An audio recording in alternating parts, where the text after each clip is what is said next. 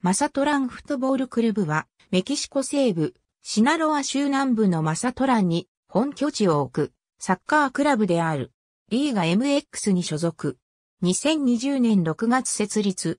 2017年、シナロア州政府は、州内のスポーツ振興の一環として、マサトランに新スタジアムの建設を始めた。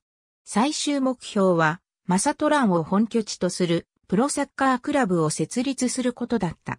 2020から21シーズン開幕までに完成させる計画で、急ピッチで建設が進められ、2020年6月30日に完成した。建設費約14億5200万ペソをかけた新スタジアムは、エスタディオでマサトランと名付けられた。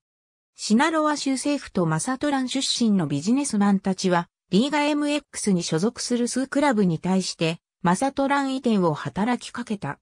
2020から21シーズンに向けて可能性を示したのは、モレリア、プエブラ、ケレタロの3クラブだった。6月2日、モナルカス・モレリアのマサトランへの本拠地移転と、マサトラン FC への名称変更が決定された。6月8日、チームエンブレムとチームカラーも発表された。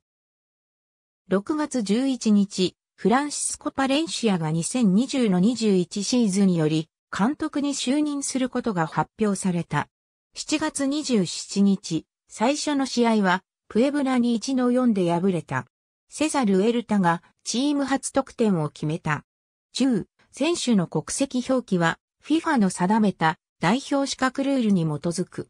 10、選手の国籍表記は、FIFA の定めた代表資格ルールに基づく。10、選手の国籍表記は FIFA の定めた代表資格ルールに基づく。ありがとうございます。